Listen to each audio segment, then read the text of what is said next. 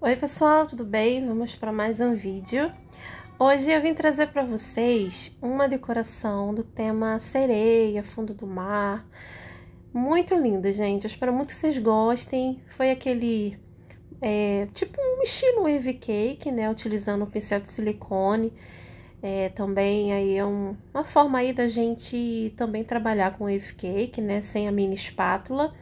Então vamos lá, né, gente? Esse bolo foi um bolo de 20 centímetros por 10 de altura, massa branca, recheio foi de brigadeiro branco.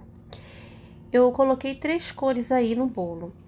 É, aí embaixo eu utilizei o rosa cereja, aí no meio eu utilizei o lilás e aí em cima eu utilizei o azul anis, tá bom? Então foram essas três cores, eu não fiz misturinha, né? Eu tinha as, as três cores em casa, então foi embaixo rosa, né? O rosa cereja, em cima, no meio, o lilás. E aí em cima foi o azul, que na embalagem tava lá é, dizendo que era o azul anis, tá bom?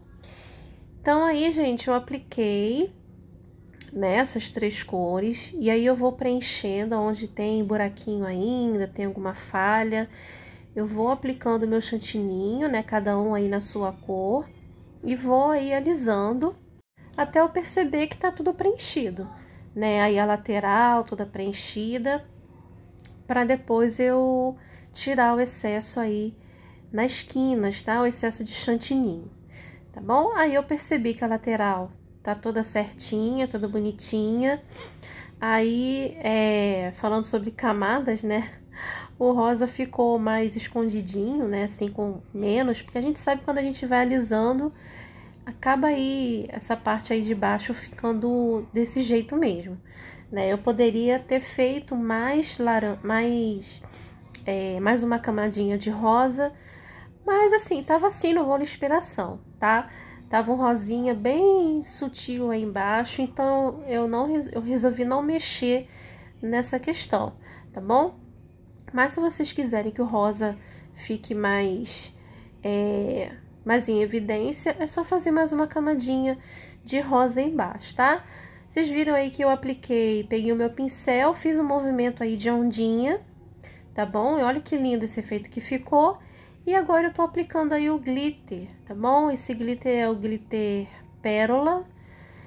É, eu utilizo ele sem o álcool de cereais, somente o glitter, tá bom?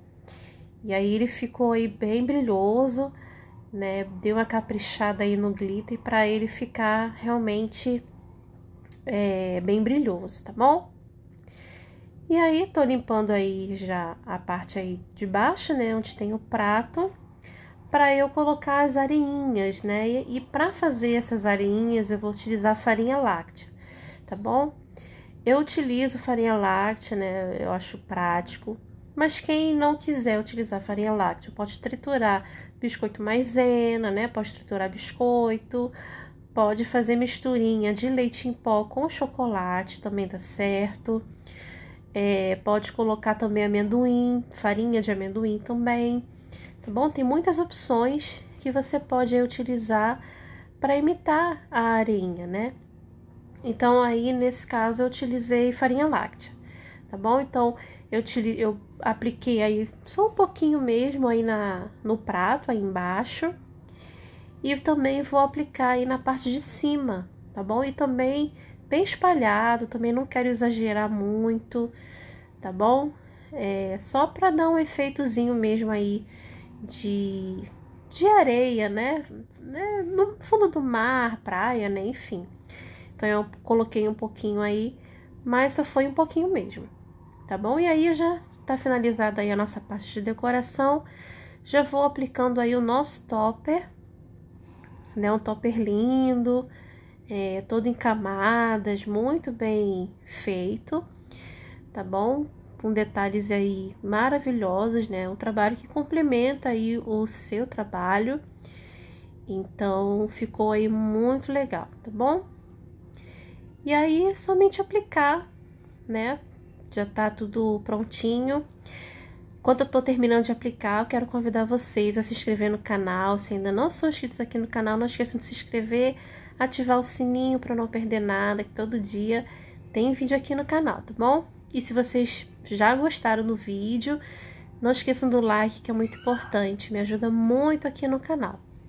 Tá bom? E também me acompanha também lá no Instagram, também no nosso grupo lá do Facebook, vou adorar ver vocês por lá também.